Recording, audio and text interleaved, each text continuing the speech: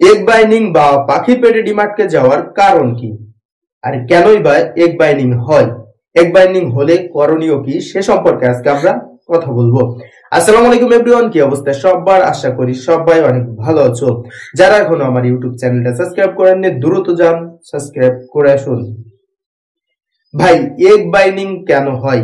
Egg brining হয় মূলত ক্যালসিয়ামের কারণে বা ভিটামিনের কারণে খাবারের অভাবে। তাদের এগ বাইনিং হয়।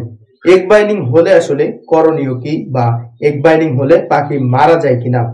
এগ বাইনিং হলে পাখি অবশ্যই মারা যায় যদি ডিমটা রিলিজ না করা হয়। এখন এক বাইনিং হলে আমরা কি করব সে সম্পর্কে বলি।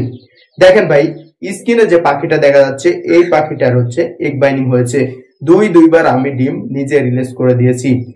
আপনি যখন দেখবেন একদিন বাদে একদিন আপনার পাখি ডিম দিচ্ছে না, তখন বুঝবেন আপনার পাখির এক বাইনিং হয়েছে। বা খাঁচায় চুপচাপ যদি বসে থাকে, তাহলে বুঝবেন আপনার পাখির এক বাইনিং হয়েছে। তখন আপনি ডিমটা রিলিজ করে দিবেন। এখন কীভাবে আপনি আপনার পাখির ডিম রিলিজ করবেন, সে সম্পর্কে একটু কথা বলি।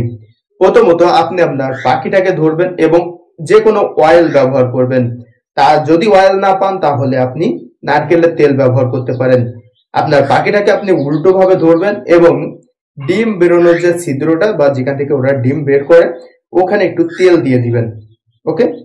তেল দেওয়ার পরে আপনি দু হাতে পাখিটাকে ধরবেন। এরপর আমি যেভাবে চাপ দিচ্ছি ঠিক এইভাবে আস্তে আস্তে আপনার পাখির পেটে চাপ দিতে থাকবেন। তবে সাবধান এবং সতর্ক থাকতে হবে যাতে ডিমের উপরে চাপ না লাগে। যদি ডিমটা ভেঙে যায়, তাহলে আপনার পাখির কিন্তু মৃত্যু হয়ে যাবে।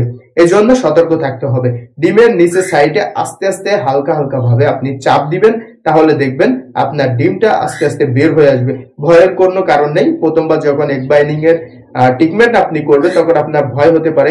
কেননা পাখির যৌনি পথ মানে একদম লাল অংশটা বের হয়ে আসে। তখন আসলে ভয় লাগে। আমি নিজেও প্রথমবার ভয় পেয়েছি যে তার নাড়ি বুড়ি বের হয়ে যাচ্ছে হয়তো। ভাই, ভয়ের কিছু নেই। আপনি আস্তে আস্তে চাপ দিবেন, দেখবেন একসময় ডিম বের হয়ে যাবে এবং সাদা অংশটা যখন আপনি দেখতে পান, তখন একটু জোরে করে চাপ দিবেন, ডিমটা বের হয়ে যাবে।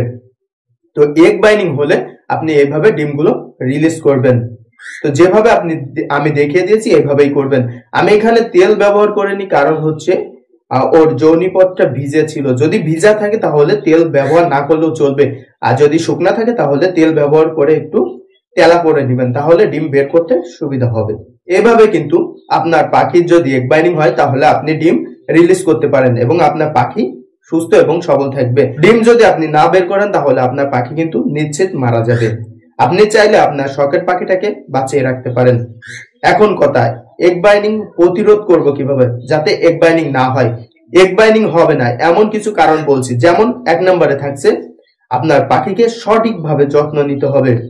যেমন, খাবার ঠিকঠাক মতো দিতে হবে, পানি ঠিকঠাক মতো দিতে হবে, এরপর হচ্ছে ম্যালোরোলগুলো ব্যবহার করতে হবে। তাহলে কিন্তু আপনার পাখির এগ বাইনিং হবে না। যখন আপনার পাখি ডিম পাড়া শুরু করবে তখন আপনার করণীয় কি? দুই নম্বরে থাকছে হাঁস মুরগির ডিমের খোলা, সুন্দর করে গুঁড়ো করে আপনি আপনার পাখিকে খেতে দিতে পারেন।